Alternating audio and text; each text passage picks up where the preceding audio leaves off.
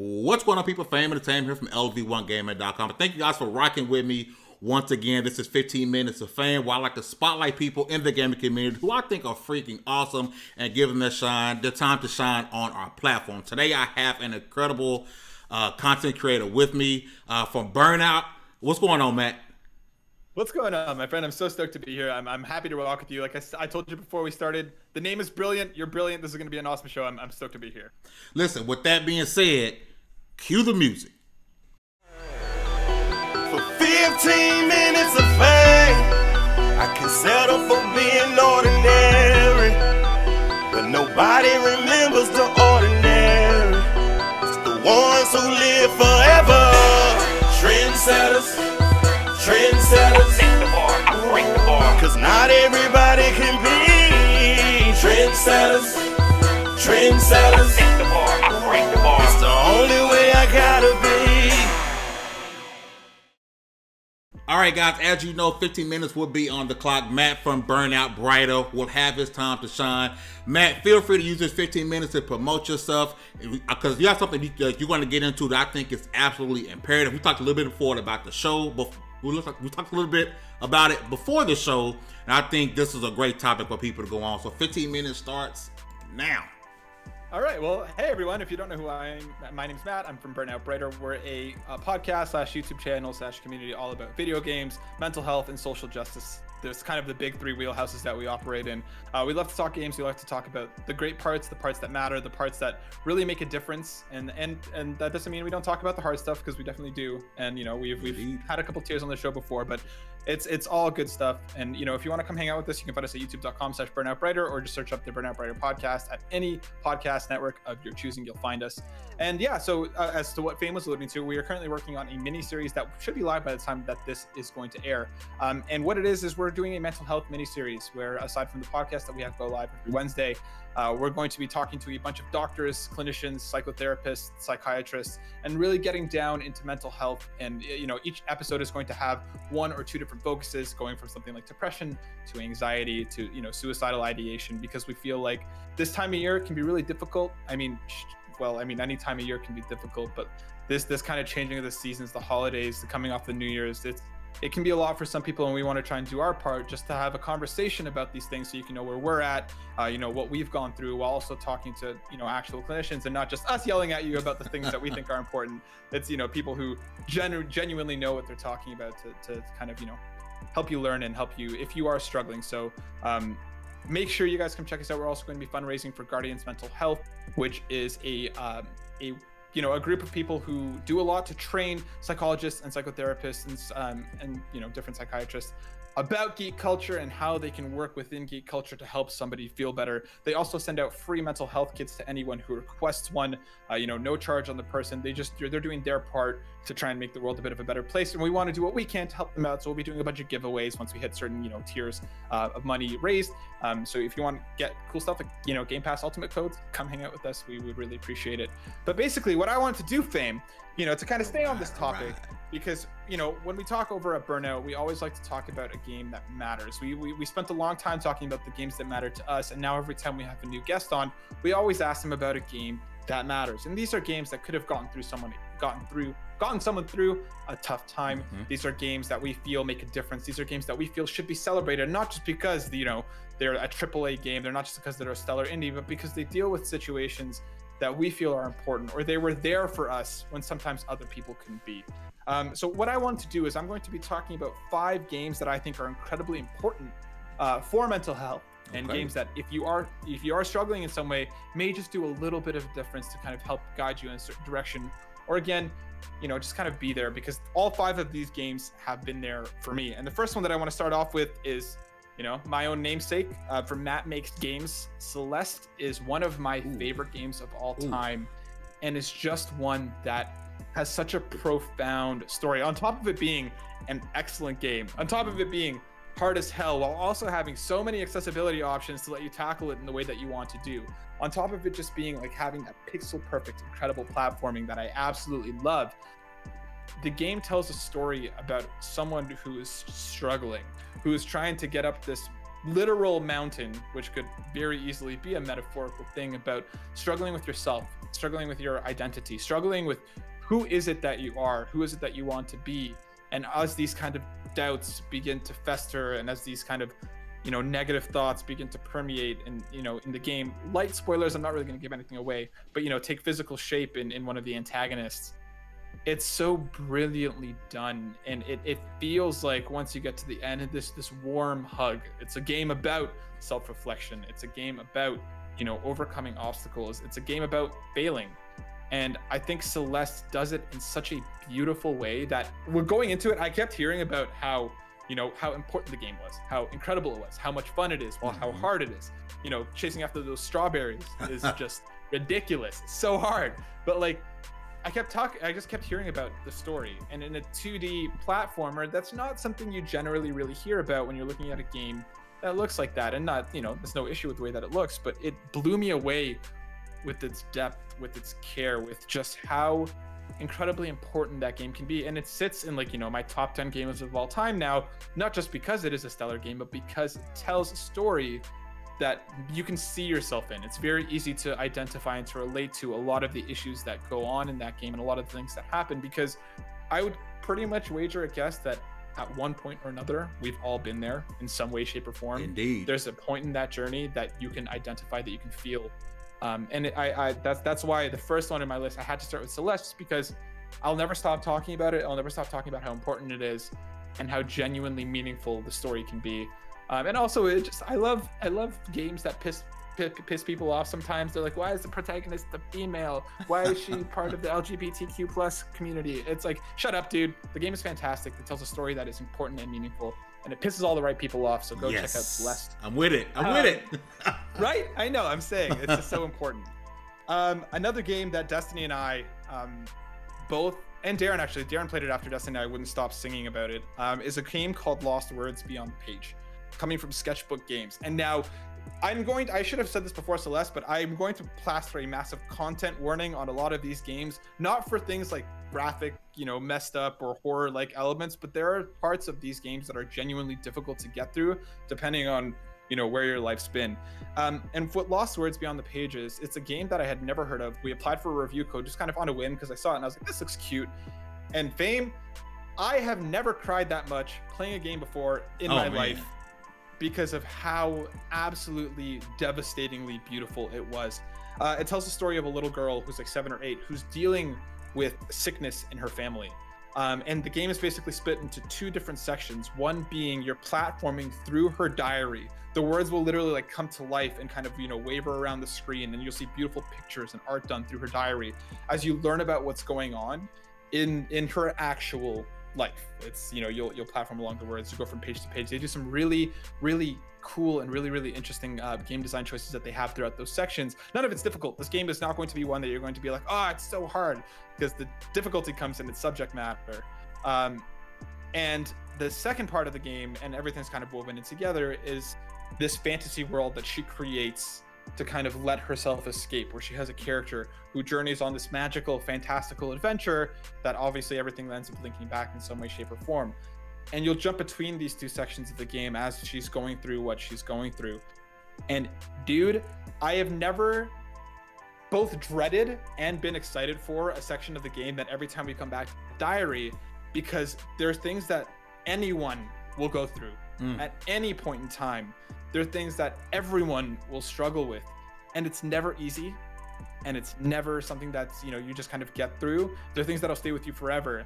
And seeing it all through the eyes of this young child and you know things that she doesn't understand as to why that they're happening and emotions that she has it's just it's so incredibly well written well voice acted it's beautifully put together but i will warn you it is incredibly difficult to play um, Hey. both my i was a mess the entire time through um, my wife was looking at me as i was playing she's like do you want to take a break i'm like no i have to keep going it's too important um, and like Destiny was the same way. And you know, Darren, when he played it after Destiny, I couldn't stop talking about it. Same thing. We all cried. It all hit us in a very, very fundamental part of our being.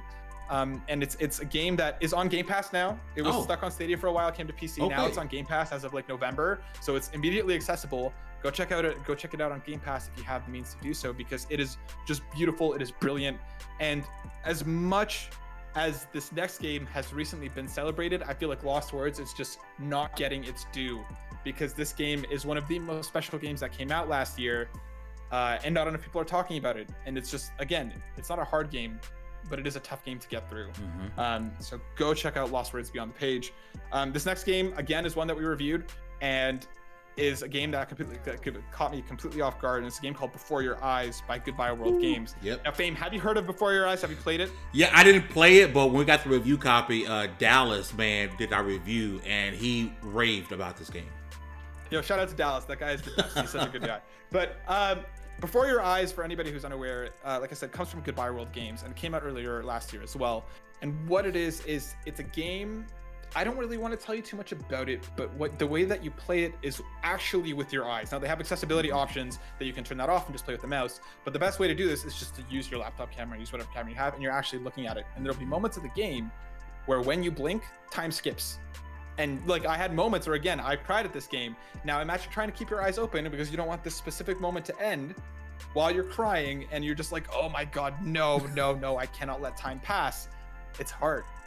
It's it's beautifully done and it tells the story of just this kid growing up and just dealing with expectations, dealing with things not going the way that you ever expected them to, dealing with this magical again, this magical world that you can create because of the things that you're going through in reality.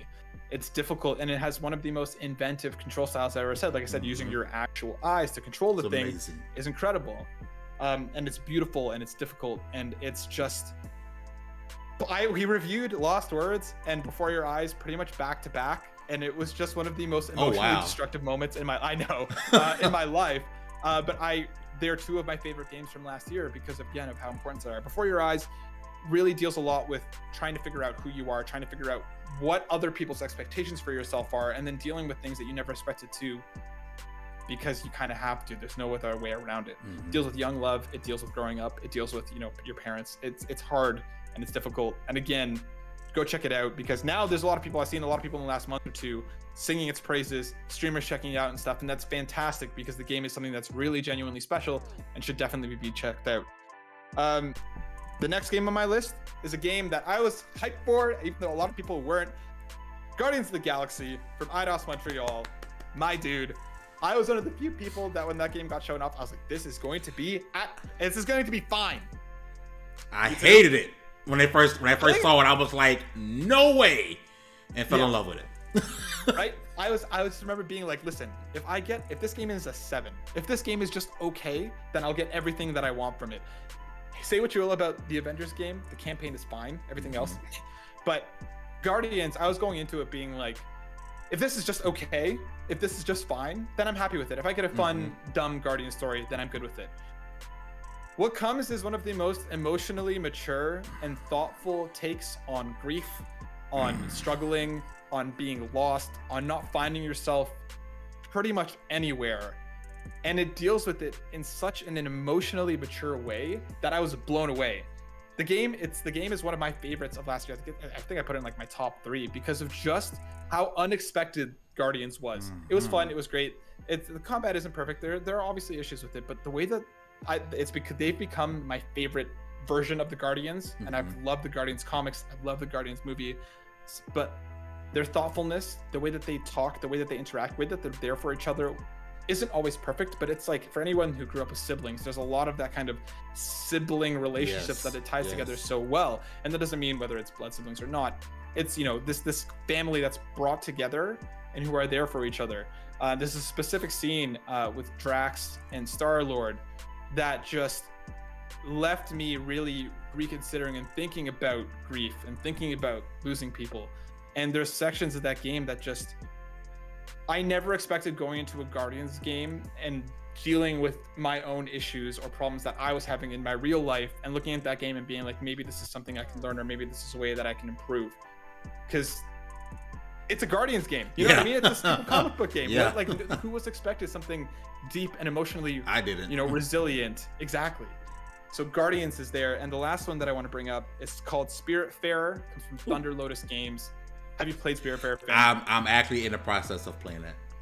Beautiful. uh, I won't spoil anything for you, but that game again, deals with grief and i feel like the, the world the last few years there's been a lot more grief and loss than there ever should have been um, but i'm glad that games like this exist because they kind of you will deal with it at some point or another and coming to terms with it and coming to understand it and coming to live with it is important and spiritfarer is all about passing on you play a girl uh, or sorry you play a person who is ferrying people to you know to, to their to their passing on um, to the next step to whatever it may be you're helping them move on and you're kind of sailing around a map while you're trying to fulfill kind of their last wishes before they leave and those answers aren't always easy it's one of my favorite things about Spiritfarer. It's not like, oh, they wanted to eat a sandwich. They ate a sandwich. Now they can leave. Things aren't always cut and dry. Things aren't always good. Things aren't always easy. There are moments that you genuinely feel like I genuinely felt lost in that game. And there'll be moments where like I'll never forget the first soul you kind of helped pass on because I kept expecting to cry. I kept expecting to go into it and being like, oh my God, I'm going to have so many feelings. And I didn't. And I put the game down and I was doing something else. And all of a sudden, like 10 minutes later, I just started crying. And it's just like, it's one of those things that kind of stood in my mind. And the more I played it, the more I was like, I miss this character. I miss what was mm-hmm. happening here. I miss what was going on. It's thoughtful, it's profound, it's fun um, if you like kind of you know management sims where you're building up your boat as you're kind of going around, it's mm-hmm. wonderful. And I, I, think it's also on Game Pass. Game Pass. Now. Yep. I'm okay. Perfect. So it's still there. Um, it's it's just so thoughtfully put together. It's wonderful. All five of these games for me, Fame, are just games that have such importance that all deserve to be played for one way or another. And they're not always the easiest games to play because of their subject matter. But I, I took something away from all, each one of them to help me feel like, okay, I can use this in my real life moving forward. These are games that I think are important. These are games that should be celebrated, and these are games that matter in a really profound way when there's so many people struggling, when there's so many people who don't know mm-hmm. how to have these conversations or to find their voice to do this. Sometimes we need a medium like video games to help tell these stories so that we can find pieces of ourselves in them. All five of these games deserve every bit of what they get, and I hope they get even more because they are games that matter. And for the people who are wanting to see or read more about these games. I'm going to put all of Matt's reviews from Burnout Brighter of these games. I'm going to put them in the link down. Everything about Matt's going to be, and Burnout Brighter will be in the link down below. But definitely these five games, dude, goosebumps. Literal goosebumps. Like listening to you talk about these games because this, this is important. Again, and I've openly said this before, someone who struggled with mental health before, video games have mm. been that outlet for me. Uh, even at times where even where they couldn't be, I knew I could I had that to fall back on. And for you to, mm-hmm. to be mm-hmm. doing this, what you're doing, um, it's great, man, and, and, to be able to talk about these games and have that passion and love for these games that you do um, is absolutely amazing, man. But I do want to ask you a question, okay? Sure. So for the people now, or they're in love with you now, like I am, or they're in love with you. I want to know more about Matt and Burnout Brighter. If you can pick one thing for people to put their finger on about yourself or about Burnout Brighter, what would it be? You know, I think that's it's hard. I have a, I have a hard time talking about myself. And again, like I, am sure you can understand, mm-hmm. like being a content creator, promotion and, and kind of marketing and, and kind of you know putting your best self on is difficult. Um, but one of the proudest things that I think about just kind of burnout in general, uh, and this has been part of us since the beginning, is our willingness to share the even the crappier parts of ourselves, um, or the more difficult parts of ourselves, because there are moments where we have difficult conversations. Um, there are moments where we have talks about the stuff that we've gone through. To be really honest, I came into this year re- in a really, really bad spot. Um, you know, like I was lower than I'd been in a long time, and it takes these conversations. in this first episode that we're going to be having going up for the mental health series is just going to be me, Darren, and Destiny talking about where we're at, what we've been going through, and to have these conversations. If there's somebody out there whoever just needs to listen. If there's somebody out there who feels like they need to have a conversation, I mean, if the, if there's somebody out there who feels alone, us over here at Burnout are always going to be here for you. If you need to have a conversation, DM me on Twitter. Find me. Well, I, am I'm, I'm happy to talk. If you need to listen, if you need to, a space to kind of let things out, we're here for you. Um, because I feel like so there's a lot of things, and there's a lot of content creators out there that just kind of get lost in the shuffle. And something that I really appreciate about you guys, and you know, it's it's not to, to, to turn this around for just a second, but there was a when I was on 2xp just a little while ago, uh, we finished the recording, and there was somebody that said like, I needed this today. You know, like I, I needed you to be there for me, and it was one of the crew. And I don't want to name names because yeah. I don't want to toss anybody out, but like, it's that simple message of we're here, whether yes. you need it or not. Um, and that's what I love about level one, and that's what I'm really proud of about Burnout, is we're here and we will be here, and like we'll talk about games, we'll talk about news, we'll talk about all the dumb stuff, but we're also going to have the conversations that matter to us and the conversations that we think need to happen because life isn't always easy, and you need to hear about it because one of the big, most dangerous things that can happen is say, "This is only happening to me. I'm alone.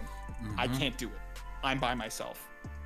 So if you're if you're looking for a space burnouts here, and uh, plus there's plenty of dumb stuff, there's plenty of ridiculous conversations that we have. That'll never change, but we'll also we'll, we'll be here for you if we can.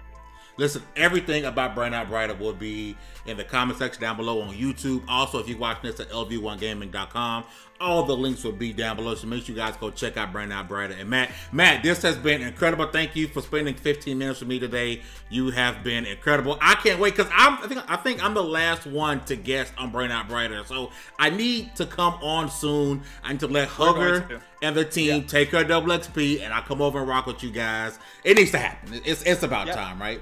I'm telling you, we're going to have a full burnout of uh, LV1 gaming crossover this year. We're have a week of stuff together. Get ready for it. I'm I'm absolutely ready for. It. Listen, you guys are freaking awesome. If you're new to the channel, hit that like button, share this out. You guys have been amazing. Get all your game news from LV1Gaming.com.